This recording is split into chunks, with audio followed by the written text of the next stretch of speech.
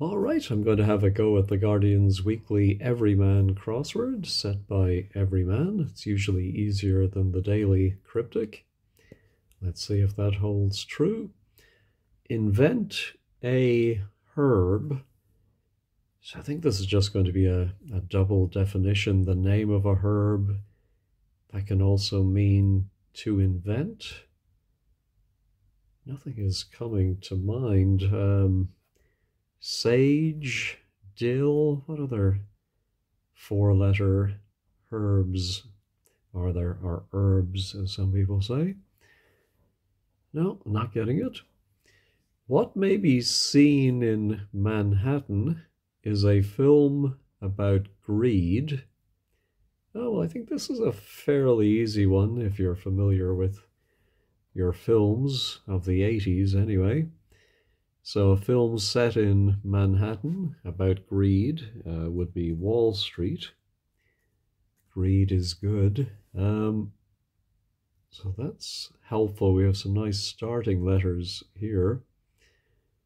Let's try this one. After injection of iodine, a thorax is most sore. Yeah, saying after injection of iodine makes me think that's part of the wordplay. And whatever the chemical symbol for iodine is, we're probably going to insert that in a word for thorax. Oh, and, and we might actually start with an A, and then it's going to mean most sore. The first word that comes to mind is achiest, and I see we have a chest with an I inside it, so iodine must simply be I. I asked the waiter for iodine, but iodined all alone, if anyone remembers that song. Large, which we have the L, prison officers failing to open smallish rooms. Well, I presume it's going to mean smallish rooms, but what are smallish rooms? Lounges, um, large, I think, is that L. And then what are pri- prison officers? Oh, failing to open. Ah, yes. So warders are prisoner office prison officers, and they're missing their opening letter, so they're failing to open. And so a larder or larders are smallish rooms. Uh, leading lady to see where appetizers appear. Ooh. Not sure what that's going to be. First word starts with T. Could it simply be the? Leading lady. I immediately wonder if that could be Eve. Um, I don't think it's going to be actually the. I think it's going to be something like top of the. Top of the. Oh, uh, yeah. So the leading lady would be uh, top of the bill, maybe? And so you might see on an itemized bill at a restaurant the appetizers first. Is that top of the bill? I think I've heard oh uh, somebody requesting top billing, but um, maybe in more theater, um, musical or vaudeville, somebody would be top of the bill. All right. How about disasters? Leonidas dodged regularly. Well, that suggests we take regular letters um, from Leonidas. Leon, Leonidas?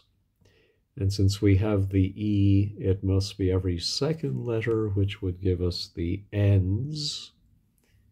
I suppose an end, your end, could be a disaster. Um, country 15, I think we're going to have to um, solve number 15 first. All right, well, let's um, look at 10 across. We have most of the letters here. Goth prayed desperately. Well, that certainly suggests an anagram of Goth prayed. For source of support. Ooh, um, yeah, I'm not. Can't work that one out. Let's try the anagram helper.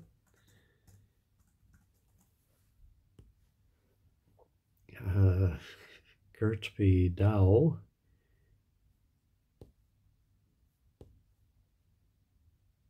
Just wondering where that Y is going to go. Therapy. Therapy dog. Ah, yes. Would definitely be a source of support. All right. Oh, well, now um, I'm thinking that has to be Togo, and 15 maybe something about takeout food, perhaps? Ah, yes. In fact, murder a pizza takeout. There we go. Uh, let's try greens constituent circulated cute leaflet well, I'm reading circulated as another anagram indicator. Cute leaflet is 11 letters, and that's what we're looking for. And something that you would find within greens, and I'm thinking salad. Um, I think it's lettuce leaf. I'm always a little um, disappointed when part of the answer appears so boldly within the anagram fodder uh, leaflet and lettuce leaf. Anyway, there we go. I shouldn't complain, I suppose. How about we're told, which certainly sounds like a homonym, or sorry, a homophone. Um, Southeast Asians connections. Uh, so I think this is going to be ties, which sounds like people from Thailand. All right, I didn't look at one down. Dodgy stimulator. Uh, so maybe an anagram of stimulator. Uh, yeah, we have two T's and an L for agents of unwelcome change. Ooh. What are they going to be? So I presume it's going to end in S. Let's try our anagram helper again. Agents of unwelcome change.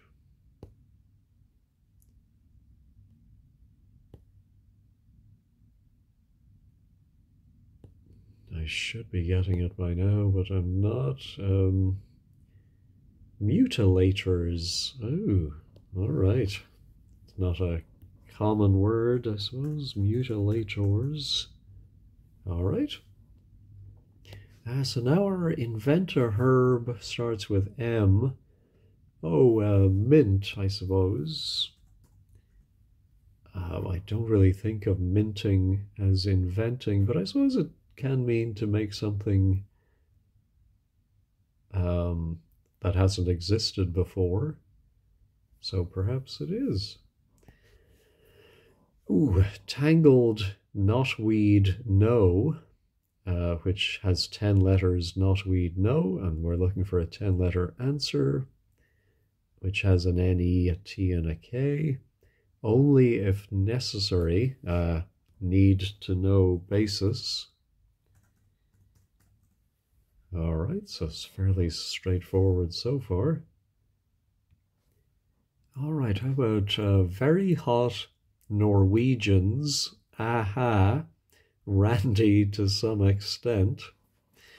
Well, I think this is a hidden clue to some extent, meaning taking some of the letters in order from within Norwegian's aha Randy to make very hot. I'm thinking Saharan. So very different to Norway. Um, list includes duck, but you want another bird. Well, a duck in um, sports scores can be a zero, which would be represented by O. So I think we want to get a word for a list, put in an O, and we get a bird. I'm thinking of roster with an O, an extra O becomes rooster.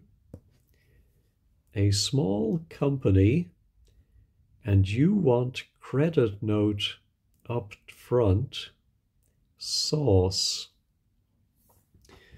I think this is going to be a sauce, a culinary sauce. I'm not great on sauces. Um,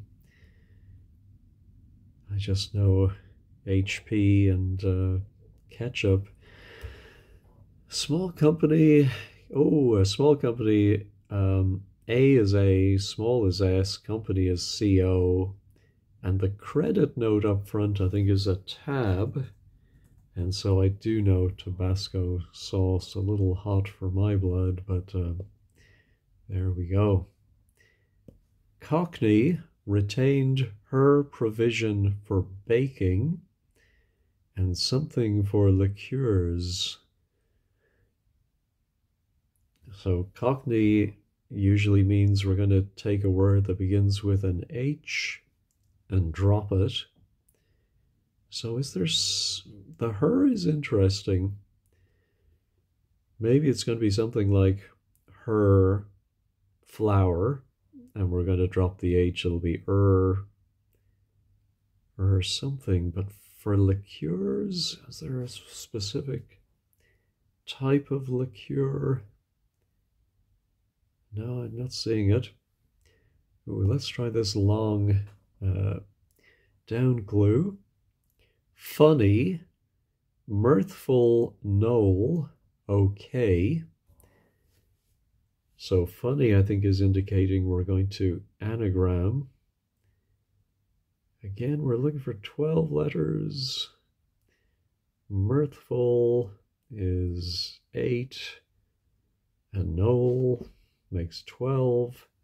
And then maybe the definition is going to be okay.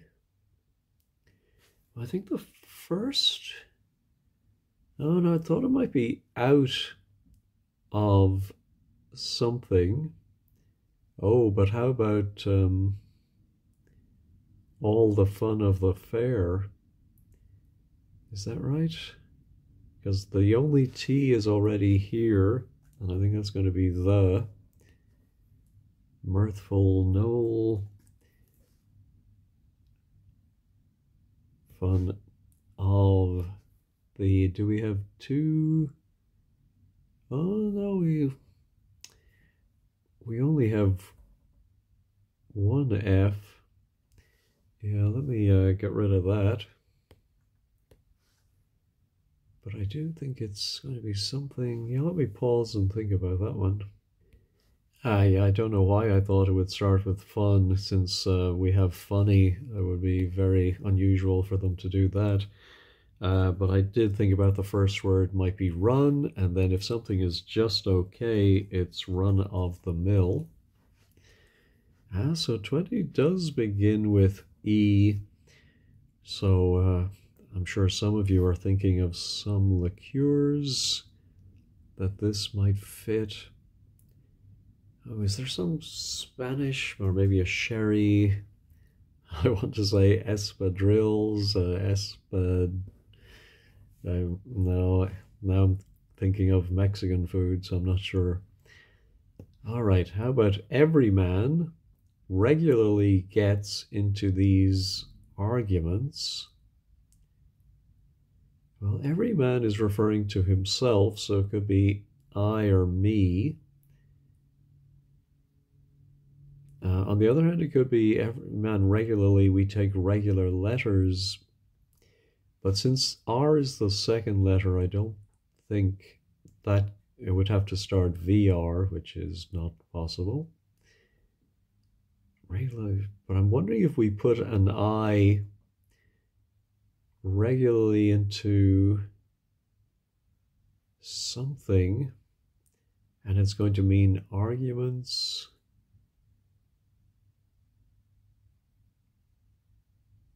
No, not seeing it. Incites in middle of open court displays of fury. Ooh. The middle of open would be the PE. So something It might actually begin with in, in, then in the middle of open. And is it going to mean displays of fury? Uh, not, not sure of that. All right, I started so well, but now running into some issues. Uh, cooked but not good, dotted with holes. Ooh. I think it might be a word for cooked that has a G in it. And we're going to remove the G because it says but not good. And it's going to mean dotted with holes.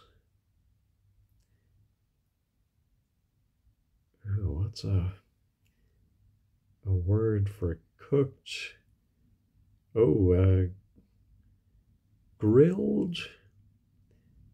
No, if we take the G away, it's uh, too short. I think. Yeah, but not good. Let me pause and sip my coffee and think about that.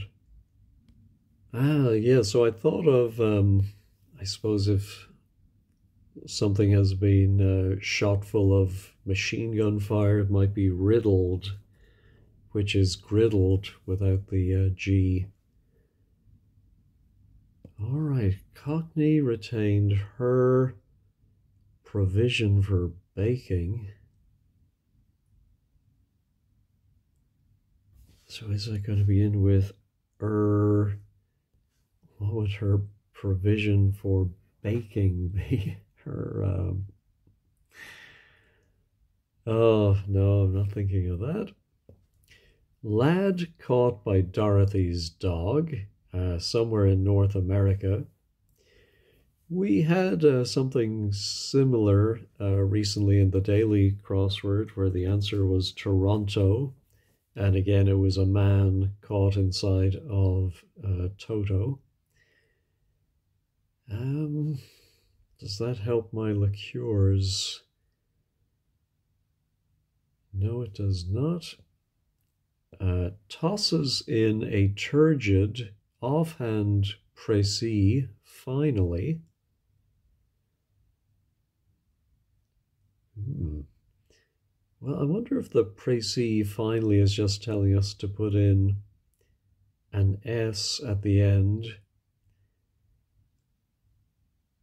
And the word is going to mean tosses. But um, in a turgid offhand, I can't think of how that would be represented in three letters. America is a revolutionary, enormous mass of land. Ooh. Well, revolutionary is sometimes read, but it might also mean that we have to flip something on its head, turn it backwards. Um, ah, yes, so in fact, that's what we have to do. America is simply A, then ISA, we turn that around and we get Asia, which is an enormous mass of land. All right. How about Thomas, perhaps, embracing trendy field of research? I think it's going to be a field of research. Trendy could be in. So I don't know if it's going to be in here or if this is going to be in. And Thomas perhaps suggests we have to think of some famous Thomas. Now, is it going to be Uh, Thomas as a last name, like Dylan Thomas? I think it's more likely to be a Thomas as a first name. We do have this S in the third position that I think is going to be part of their name. Embracing trendy field of research. What would that be? Some area of science? No, I'm not thinking of it. A boar, Tolkien creature, that's not on. Ooh, so I think it's going to be. Is it going to be something from Tolkien, or is that trying to throw us off? No, I'm not seeing it. Daffy old boaters, one swinging more than one way. I think it might be an anagram of old boaters with Daffy indicating the anagram. And it's going to mean one swinging. Uh, I think we've had something like this before where it's a type of door. We do have two, uh, two O's with a D and an R. Um, and what type of door was that again? Let me pause and uh, remember. Uh, the letters left over spell stable, so a stable door can swing more than one way, I suppose. That confirms this does end in S. Uh, tosses lobs, perhaps, but I don't get the turgid. Oh, maybe it's the final letters of Ah, yes, tosses in is the definition, and it's a turgid off and précis. The last letters of those is adds. All right, now our Thomas does begin with a a D, but I don't think it's. Um, I mean, we could start with DYS and then end in LAN but uh, I don't think. Yeah, I don't think that's uh, going to be. I was thinking for a moment of Disneyland, but that doesn't fit. All right. Um,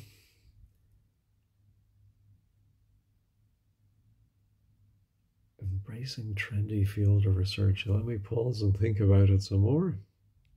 Ah, so I finally worked out the word is discipline, which is a field of research, of course. Yeah, I was trying to think of a specific one, but it's just the the word for a field of research. And Thomas is an example of a disciple, and then the in does go there. Okay. Um, where to? Top half is in good shape every man regularly gets into these arguments. Could it be arguments in a scientific or even a programming sense? Not thinking of it. And this one, incites in middle of open court, displays of fury. Yeah, uh, not seeing that either. Let's try this one. Cockney retained her provision for baking. Yeah, uh, I think I'm going to have to resort to looking up a list of liqueurs and see if that uh, helps. All right, well, I wasn't too far wrong when I thought of her flower But um, the retained is important. I forgot about that part. So if you retain something, you might hold it. And so this Cockney eld er flower. So I presume you can make a liqueur uh, out of elderflower. I'm not familiar with that. I'm sure it's lovely. Ooh, so now we do get this W, which is useful. Gets into these arguments. So what comes before the S and the W? I'm thinking it's going to be a plural word, so something like fireworks or um, something words. Oh, cross. Ah, is there um? It's cross words, cross swords.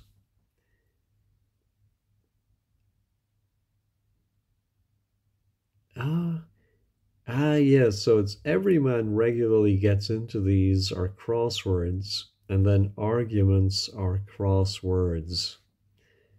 Phew, that would be a terrible one not to, not to get crosswords. All right, let's see. A or Tolkien creature. Just seeing if it could be a hidden word. O R E T. That's not on. No, I'm not seeing that. Oh, I haven't looked at 26 across. Judas Iscariot within. Now that suggests a hidden answer, hidden within Judas Iscariot, and it means unaltered as, as is. Well, that just confirms this is plural but does it mean incites? I think it means displays of fury. Now, isn't there a boxer called Fury? So maybe it could be something to do with that. Um, yeah, not seeing it. Let me pause and uh, I may have to resort to wordplays.com to see what word fits. Ah, it's actually encourages. So incites, I suppose, could be encourages. And simply the middle of open court is saying part of the answer is hidden within open court, the E N C O U. And then displays of fury are rages. Ooh, that was a tough one. All right, now a boar Tolkien creature. That's not on. Wow, that's a tricky one. Hmm, I've no, idea. it's an awful lot of verbiage. A boar? Tolkien creature. That's not on. Oh, um, I'm just thinking of the word drag. Ah, yes. So a drag is a boar. The Tolkien creature is a dragon but we remove the on, that's not on. Uh, and so we get drag. Whoa. So that was pretty tricky. Uh, did finish it just about within 30 minutes, of course, not counting my pausing. All right, well, uh, I thought that was uh, very mixed today. Some easy ones and then some quite tough ones. But uh, I do thank you for watching, and I hope you have a wonderful day.